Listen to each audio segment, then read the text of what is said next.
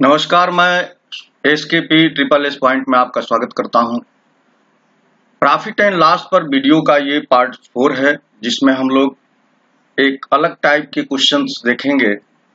और इन क्वेश्चंस को जो कि देखने में थोड़ा जटिल हैं डिफ़िकल्ट हैं, आप उन्हें कैसे बहुत आसानी से कर सकते हैं, कुछ तर्कों और कुछ ट्रिक्स और कुछ अच्छे मेथड का इस्तेमाल करके तो ये इस वीडियो में मैंने कुल दस क्वेश्चन लिए हैं, जो कि बहुत ही अच्छे क्वेश्चन हैं।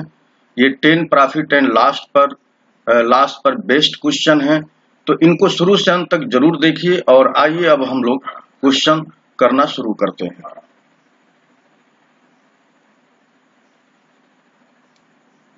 देखिए क्वेश्चन नंबर एक में है कि किसी वस्तु को उनहत्तर रुपए की अपेक्षा अठहत्तर रुपया में बेचने से लाभ प्रतिशत दुगुना है। इस वस्तु का क्रय मूल्य क्या है? तो अगर हम लोग इस वस्तु का कास्ट प्राइस एक्स मान लें कि कास्ट प्राइस एक्स है तो यहाँ पर ये सेलिंग प्राइस दिए हुए हैं दो। ये भी सेलिंग प्राइस है और ये भी सेलिंग प्राइस है। तो यहाँ कह रहा है किसी वस्तु को उनहत्तर रुपया में बेचा जाता है उसकी अपेक्षा जब उसे अठहत्तर रुपये में बेचा जाता है तो लाभ का जो प्रतिशत है, वो दोगुना हो जाता है। तो देखिए, जब हम लोग सेलिंग प्राइस में से ये कास्ट प्राइस निकाल देंगे तो ये लाभ होगा। और इसका प्रतिशत निकालने के लिए हमको सौ से गुना करना पड़ता है।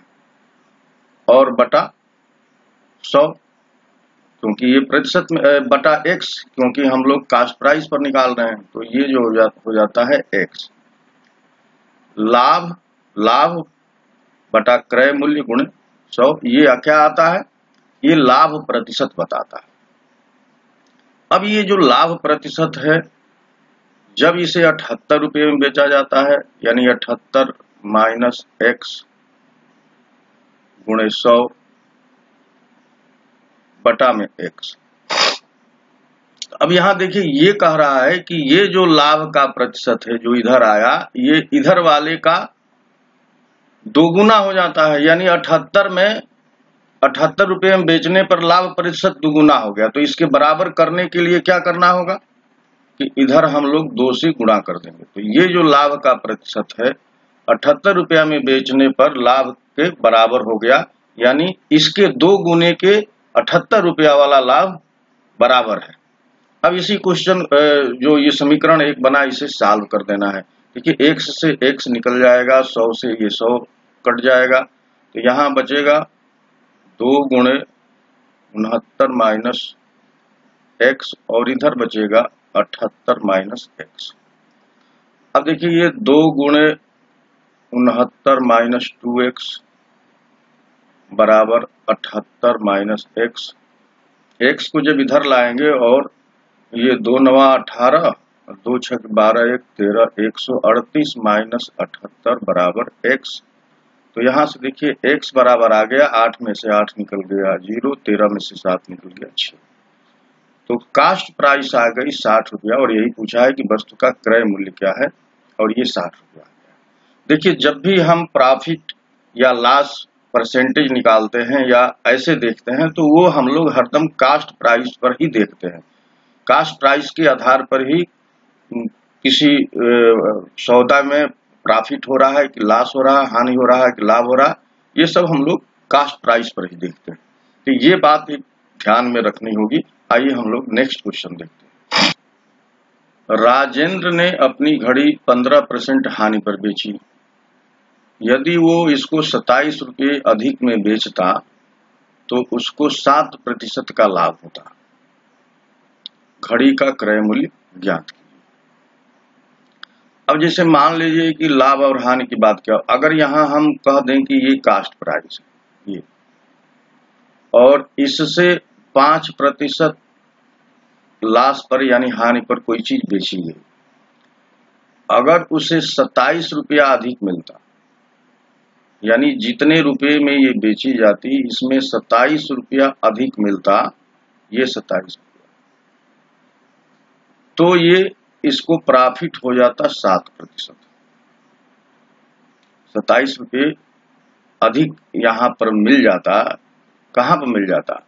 यदि वो इसको सत्ताईस रुपये अधिक में बेचता, जितना में वो बेच रहा है, उतने रुपए में बेचने पर पाँच परसेंट की हानि हो रही। अगर उसे सत्ताईस रुपये अधिक में बेच रहा है तो सात परसेंट का ये प्रॉफिट हो रहा है और ये लॉस हो रहा है। तो अब आप देखिए, ये पाँच परसेंट ये सात परसेंट के बीच का जो परसेंटेज गैप है, वो पाँच प्लस सात, यानी कुल मिलाकर के बारह परसेंट का गैप है। और ये बारह परसेंट का जो गैप है, वो केवल सत्ताईस रुपए में पूरा हो जा रहा है। यानी इस गैप को कौन पाट रहा? है सत्ताईस रुपया, क्योंकि सत्ताईस रुपया अधिक मिलने पर ही ये तुरंत पाँच रुपये हानि की जगह पर सात परसेंट अरे पाँच परसेंट हानि की जगह पर सात परसेंट प्रॉफिट में बदल जाता है। इसका मतलब यह हुआ कि ये जो बारह परसेंट है, ये इक्वलेंट है सत्ताईस रुपये के। तो हम लोगों को कास्ट प्राइस निकालना है तो हंड्रेड परसेंट कास्ट प्राइस होती है। इसको निकालने के लिए सौ गुणे सत्ताईस बटा में बारह। तो देखिए तीन नवा सत्ताईस और तीन चौके बारह और पच्चीस चौके सौ और पच्चीस नवा दो सौ पच्चीस। तो कास्ट प्राइस कितनी आ गई? सौ परसेंट दो सौ पच्चीस के बराबर तो इस घड़ी की कास्ट प्राइस आ गई दो सौ पच्चीस। यहाँ पर इस चीज़ को समझना था कि ये अगर कास्ट प्राइस है तो कास्ट प्राइस से अधिक दाम पर बेचा जाता है तो प्रॉफिट होता है। कम दाम पर बेचा जाता है तो लॉस होता है। तो यहाँ पाँच परसेंट का लॉस हो रहा था, जिस मूल्य पर बेचा जा रहा था। बस सत्ताईस रुपया बढ़ा देने से, यानी यहाँ से यहाँ का जो गैप है, अगर वो सत्ताईस रुपये बढ़ गया तो तुरंत सात परसेंट का लाभ होने लगा। और ये परसेंटेज में जो गैप है, वो बारह परसेंट का है, और अंकों में, यानी रुपए में जो गैप है, वो सत्ताईस रुपये का है। यही कंसेप्ट इस क्वेश्चन में अप्लाई किया गया है, और तुरंत क्वेश्चन आ गया। आइए नेक्स्ट क्वेश्चन देखते हैं। अब इस क्वेश्चन में देखिए, वही बात थोड़ी दूसरे ढंग से कही जा रही है कि एक वस्तु को साढ़े बारह परसेंट लाभ पर बेची जाती है, एक वस्तु साढ़े बारह परसेंट लाभ पर बेची जाती है, यदि उस वस्तु को पाँच परसेंट हानि पर बेचा जाता तो विक्रय मूल्य नौ रुपया अस्सी पैसा कम हो जाता। बात वही है, देखिए, यहाँ पर ये कास्ट प्राइस है, ये साढ़े बारह परसेंट लाभ पर बेची जा रही थी। तो यहाँ पर जो भी इसका प्राइस आ रहा था, कह रहा है कि अगर उसे पाँच परसेंट हानि पर बेची जाती, पाँच परसेंट लाश पर बेचा जाता तो ये जो विक्रय मूल्य है, यहाँ पर जो विक्रय मूल्य आता, वह विक्रय मूल्य इतने रुपए से कम आ जाता, यानी ये आ जाता। तो इसके बीच का जो गैप है, वो नौ रुपया अस्सी पैसे के बराबर है। और इनका जो गैप है, वो देखिए बारह पाँच सत्रह यानी सत्रह दशमलव पाँच प्रतिशत इक्वलेंट हो गया नौ दशमलव आठ तो हम लोगों को सौ परसेंट निकालना है। तो सौ परसेंट बराबर सौ गुणे नौ दशमलव आठ और ये हो गया सत्रह दशमलव पाँच। देखिए, दोनों दशमलव के अंक बराबर हैं, इसलिए ये आसानी से सॉल्व हो जाएगा। हंड्रेड इंटू अंठानवे अपान एक सौ पचहत्तर। देखिए पच्चीस चौके सौ और पच्चीस सात एक सौ पचहत्तर और चौदह साते अंठानवे होता है। और चौदह चौके छप्पन। तो ये छप्पन रुपया इसकी कास्ट प्राइस आ गई। तो वस्तु की कास्ट प्राइस आ गई छप्पन रुपया। बस यही चीज़ समझना था। इस प्रश्न में, इस क्वेश्चन में बात कहने का ढंग थोड़ा दूसरे तरीके का हो गया। कंसेप्ट वही है। आइए नेक्स्ट क्वेश्चन देखते उस वस्तु का क्रय मूल्य रुपये में, जिसे पाँच परसेंट लाभ पर बेचने पर पाँच परसेंट हानि पर बेचने से आठ रुपया अधिक मिलता है। देखिए, यहाँ भी भाषा केवल चेंज हो गई है कंसेप्ट सेम वही है। तो यहाँ पर देखिए, पाँच परसेंट लाभ पर बेचने पर, पाँच परसेंट हानि पर बेचने पर आठ रुपया अधिक मिलता है। तो यहाँ पर दस परसेंट पाँच और पाँच, ये दस परसेंट किसके बराबर हो गया, किसके इक्वलेंट हो गया? आठ रुपये की इक्वलेंट है। तो हम लोगों को यहाँ भी क्रय मूल्य निकालना है तो हंड्रेड परसेंट की बात करनी है। तो देखिए, यहाँ दस का दस गुना हंड्रेड परसेंट है तो यहाँ आठ का दस गुना कितना हो जाएगा? अस्सी। तो अस्सी रुपया हो गया। तो इसकी कास्ट प्राइस कितनी आ गई? अस्सी रुपया आ गई। आइए नेक्स्ट क्वेश्चन देखते हैं। अब देखिए, इस क्वेश्चन में बात क्यों लाभ लाभ की होगी पाँच परसेंट था, साढ़े सात परसेंट के लाभ पर एक हीटर बेचने पर विक्रय मूल्य में एक रुपया पच्चीस पैसे का अंतर आता है। हीटर का क्रय मूल्य। इसको थोड़ा सा ऐसे समझ अब यहाँ पर ये कास्ट प्राइस है। तो पाँच परसेंट पर बेचे यहाँ, पाँच परसेंट पर। और इसी को सात, साढ़े सात परसेंट पर बेचे। तो दोनों के पाँच परसेंट लाभ पर बेचा गया तो यहाँ आपको सेलिंग प्राइस मिलती है ना? Selling price S P one और यहाँ पर सेलिंग प्राइस टू तो कह रहे हैं कि पाँच परसेंट पर बेचा गया, फिर उसे साढ़े सात परसेंट पर जब बेचा गया तो एक रुपया पच्चीस पैसा अधिक मिला। तो इन दोनों का जो परसेंटेज डिफरेंस है परसेंट का जो डिफरेंस है, साढ़े सात माइनस पाँच का, वो बराबर है इक्वलेंट है एक रुपया पच्चीस पैसे का। तो यहाँ पर डिफरेंस हो जाएगा, क्योंकि ये दोनों प्रॉफिट वाले हैं। तो पहले देखिए इतना पर, मैंने साढ़े सात पर बेचने पर आठ रुपया अधिक मिलता है, साढ़े पाँच की अपेक्षा। तो ये जो इनके बीच का ये गैप है, इनके बीच का जो ये गैप है, ये एक रुपया पच्चीस पैसे के बराबर आ रहा है। ये गैप, इनके विक्रय मूल्य में, यानी सेलिंग प्राइस में। तो यहाँ पर क्या हो जाएगा? साढ़े सात, यानी पंद्रह बटा दो में से पाँच प्रतिशत निकाल देंगे। तो ये इक्वलेंट हो रहा है एक रुपया पच्चीस पैसे तो देखिए ये दस और ये पाँच बटा दो परसेंट इक्वलेंट है, एक दशमलव दो पाँच के तो पाँच परसेंट इक्वलेंट हो जाएगा इसी के डबल का।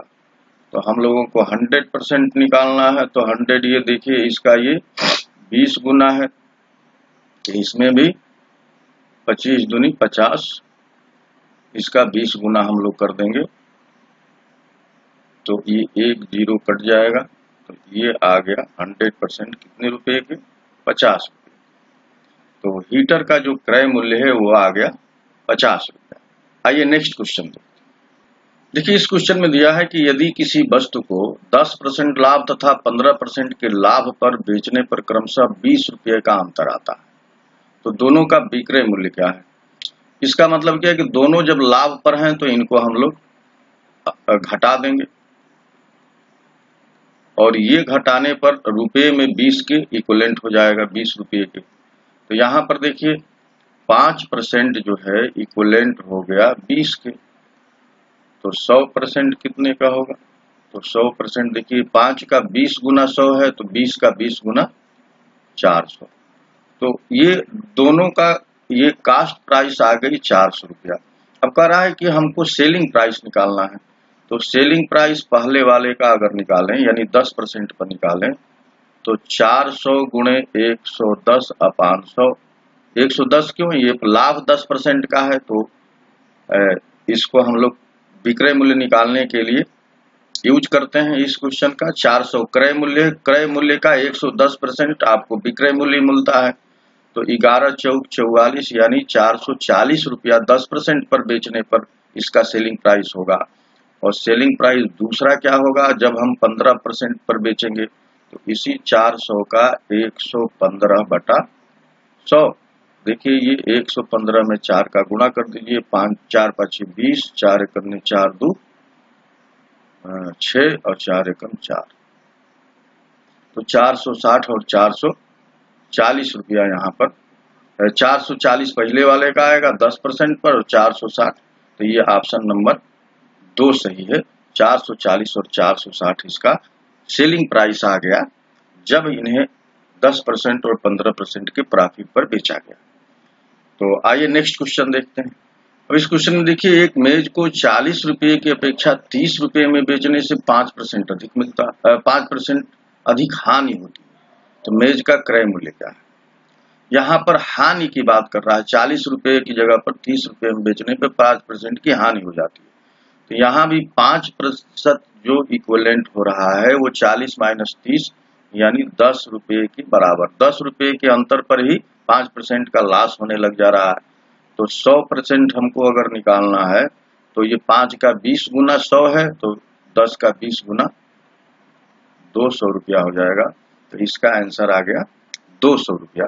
तो मेज का क्रय मूल्य क्या होगा? दो सौ रुपया। अब यहाँ पर देखिए, चालीस रुपया में जब बेचा जा रहा है तो जो लाभ हो रहा था, वो दस रुपये कम में बेचने पर हानि में बदल जा रहा है। तो ये पाँच परसेंट ही दस रुपये के बराबर है। तो सौ परसेंट यानी हमको कास्ट प्राइस निकालनी है तो वो दो सौ के बराबर हो जाएगा। आइए नेक्स्ट क्वेश्चन एक दुकानदार को, एक घड़ी को दो सौ रुपये में बेचने पर उतनी ही हानि होती है। जितना दो सौ पचास में बेचने पर लाभ होता। है तो घड़ी का क्रय मूल्य क्या है? अब देखिए, इसमें कोई परसेंटेज की बात यहाँ पर नहीं की तो हम लोग जानते हैं कि जो सेलिंग प्राइस होता है, वो हानि की स्थिति में कास्ट प्राइस में से ये हानि यानी एक्स निकाल देने पर एक्स ये लाश की स्थिति में एक्स अगर लाश हो रहा, हानि हो रही है तो सेलिंग प्राइस ये होता है। और मान लीजिए कि प्रॉफिट हो रहा है तो कास्ट प्राइस में प्रॉफिट जोड़ देते हैं तो ये सेलिंग प्राइस बनता है। यानी विक्रय मूल्य बराबर, क्रय मूल्य हानि की स्थिति में हानि घट जाएगी। विक्रय मूल्य बराबर लाभ की स्थिति में जो जितने रुपए का लाभ होगा, वो जुड़ जाएगा। यहाँ पर यही चीज़ दिया है कि एक दुकानदार को एक घड़ी दो सौ रुपये में बेचने पर यह सेलिंग प्राइस दे दिया है, उतनी ही हानि होती है। जितना दो सौ पचास रुपये में बेचने पर लाभ होता है। यानी दो सौ रुपया ये विक्रय मूल्य है, और कास्ट प्राइस को हम लोग कास्ट प्राइस ही मान लें तो उतने ही रुपये की हानि, मान लीजिए एक सौ रुपये की हानि होगी। अब ये कह रहा है कि जब उसे दो सौ पचास रुपये में बेचा जाता है, यानी दो सौ पचास में बेचा जाता है उतने ही रुपए का लाभ हो जाता है, यानी ये प्लस हो जाता है। तो हम लोगों को ये एक समीकरण बन गया, इसी को सॉल्व कर देना है। तभी जब इसे को हम लोग ऐड करेंगे तो ये दोनों कट जाएगा। तो ये साढ़े चार सौ हो जाएगा। चार सौ पचास और यहाँ पर टू सी पी यानी दो कास्ट प्राइस तो कास्ट प्राइस बराबर क्या हो जाएगी? चार सौ पचास बटा दो। और चार सौ पचास बटा दो को हम लोग लिखते हैं दो सौ पच्चीस। तो इसका घड़ी का जो क्रय मूल्य आ गया, वो आ जाएगा दो सौ पच्चीस तो इसमें देखिए, कोई परसेंटेज का इस्तेमाल नहीं था, बहुत बेसिक चीज़ की इस्तेमाल की गई कि जो विक्रय मूल्य होता है, हानि की स्थिति में कास्ट प्राइस में से जो हानि जितने रुपए की होती है, उसे माइनस कर देते हैं। और जो विक्रय मूल्य होता है प्रॉफिट की स्थिति में तो कास्ट प्राइस में जितने रुपए का लाभ होता है, उसको जोड़ देते हैं। बस ये दो ठे इक्वेशन बन गया उनको सॉल्व करके हम लोगों ने कास्ट प्राइस फाइंड कर लिया। आइए नेक्स्ट क्वेश्चन अब इस क्वेश्चन में देखिए कि किसी खिलौने को 450 रुपए में बेचने से हुआ लाभ हुआ लाभ। 320 रुपए में बेचने पर हुई हानि से 30 रुपया अधिक है यानी मान लीजिए 450 रुपए में बेचा गया तो उसको एक सौ रुपये का लाभ हुआ। और जब 320 रुपये में बेचा गया हुआ जो लाभ है, वो 320 रुपये में बेचने पर हुई हानि से 30 रुपया अधिक तो मान लीजिए एक सौ रुपये की हानि हो गई। ये हानि है लॉस तो एक सौ रुपये की जब हानि हो रही है और इससे तीस रुपया, जो जो तीस रुपया अधिक करेंगे तो लाभ हो जाएगा, यानी एक्स प्लस तीस जो है, ये प्रॉफिट हो जाएगा। जितने रुपए की हानि हो रही है, उससे तीस रुपया अधिक चार सौ पचास रुपये में बेचने पर लाभ हो रहा है। जब उसे चार सौ पचास रुपये में बेचा जा रहा है तो तीस रुपये का लाभ हो रहा है। तीन सौ बीस रुपये में बेचने पर जितने रुपए की हानि हो रही है। बस इसी क्वेश्चन को सॉल्व कर लेना। देखिए 450 ये सेलिंग प्राइस है।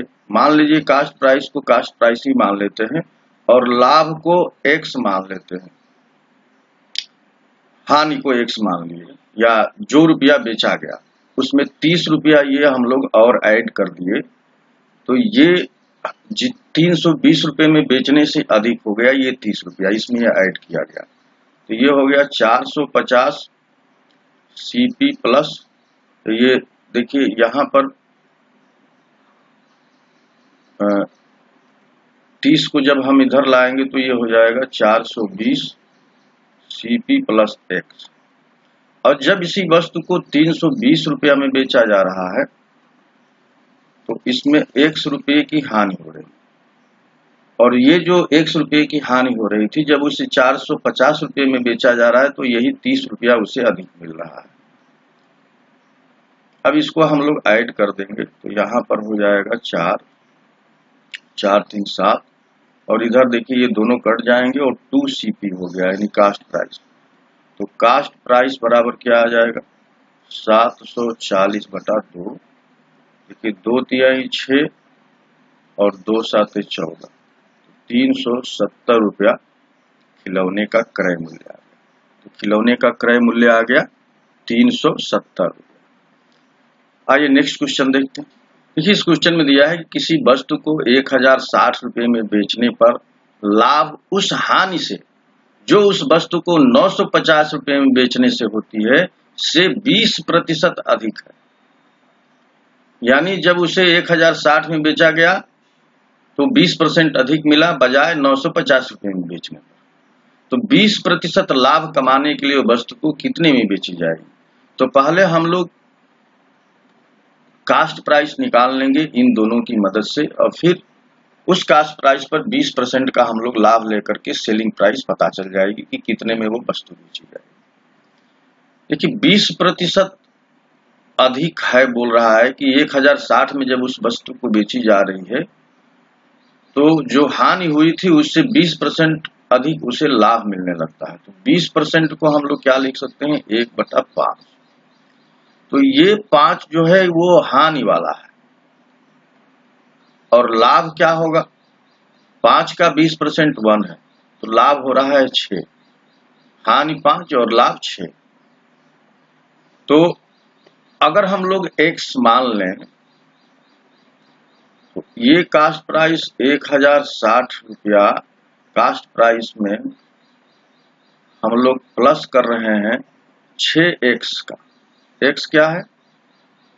एक्स जो है वो प्रॉफिट है और उसमें छह गुना उसका हो जा रहा है, यानी जो हानि हुई है जितने का, उससे वो छह बढ़ जा रहा है, बीस परसेंट अधिक हो जा रहा है। तो हम लोगों ने ये जो बनाया है, लाभ और हान, इसी को, इसी में एक्स का गुणा करके इसे रेशियो में बदल लेते हैं।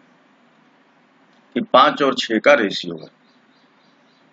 तो पहले वाली स्थिति में सिक्स एक्स हो गया है, और दूसरे में 950 cost price minus five X देखिए माइनस क्यों हुआ? क्योंकि ये लॉस हो रहा है, हानि हो रही है। तो जब हानि में बेचा जाता है तो कास्ट प्राइस में से वो हानि घटा दी जाती है। तब विक्रय मूल्य नौ सौ पचास रुपये प्राप्त हुआ। अब देखिए, इसे हम लोगों को क्या कर लेना है? इस एक्स की वैल्यू निकाल लेनी है। तो यहाँ इसे घटा देंगे।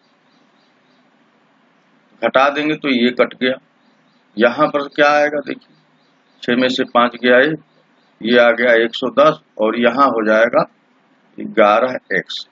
तो x की वैल्यू यहाँ पर आ गई 10 x की वैल्यू 10 आ गई तो अब देखिए कास्ट प्राइस यहाँ से निकल जाएगी।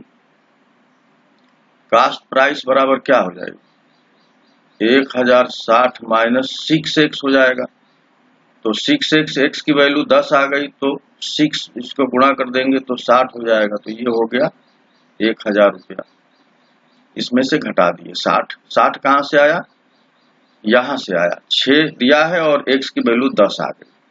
अब कह रहे हैं बीस परसेंट लाभ पर बेचना है तो सेलिंग प्राइस निकालना है।